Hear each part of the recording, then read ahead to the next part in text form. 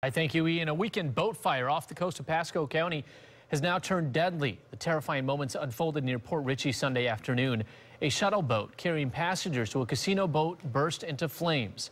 We now start with News Channel 8's Avery Cotton. She's live at Bayonet Point Hospital in Hudson. Avery, we learned early this morning that one person who was on that boat passed away.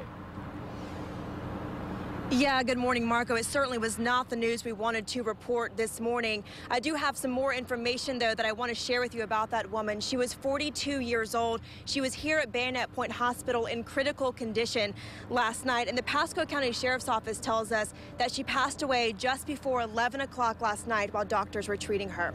She was one of about 15 people who had to be taken to local hospitals for injuries after 50 people on board that shuttle boat had to jump for their lives into the cold water and swim to shore after it just burst right into flames. People who live in the nearby Harbor Point subdivision worked to pull passengers and crew members from the water. They then offered them towels, blankets, and clothes to keep them warm. Now, just moments ago, I spoke with the Port Richey police chief, and he tells me right now they are working to learn the conditions of everyone who was taken to hospitals last night. Throughout the day, what we want to do is, is anybody that was admitted, and we want to see the, the conditions that they're in so that we're prepared. Hopefully, this is the only fatality. It's, you know, our, our prayers are out, go out to the family. Uh, everybody seemed to be in pretty good condition last night uh, when, when, when we, we wrapped up the scene. So it's just, it's an unfortunate, you know, unfortunate thing. And of course, our thoughts and prayers go out to that woman's family as well. Right now, the police chief tells me no criminal charges have been filed. But Marco, of course, this is very early on in the investigation, and the investigation has since been turned completely over to the Coast Guard. All right. Thank you, Avery, for that update.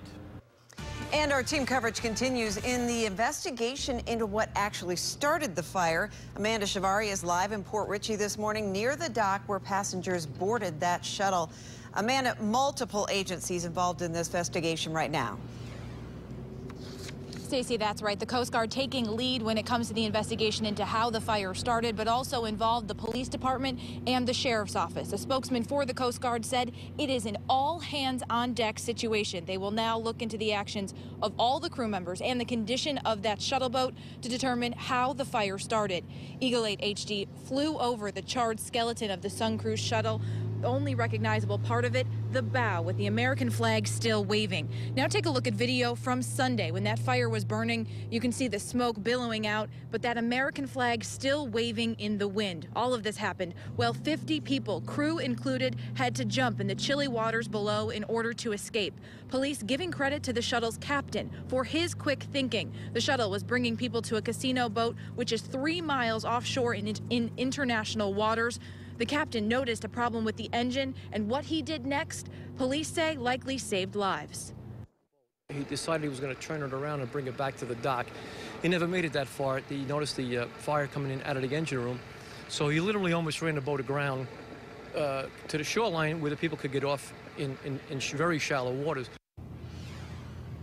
Now, this is truly incredible when you think about the timeline like this. The shuttle took off around 3.30. That 911 call for the boat on fire came in at 4 o'clock. So if that captain had not had the quick thinking to turn the boat around, they would have been a half hour out into water that is likely very deep, and that's where the people would have had to jump off to escape those flames. I can tell you just moments ago, we saw the Coast Guard go out to check out the boat. What they're doing out there this morning is looking at the area around the boat to see if there are any environmental issues that could be caused by this fire, any fuel in the water that could impact wildlife.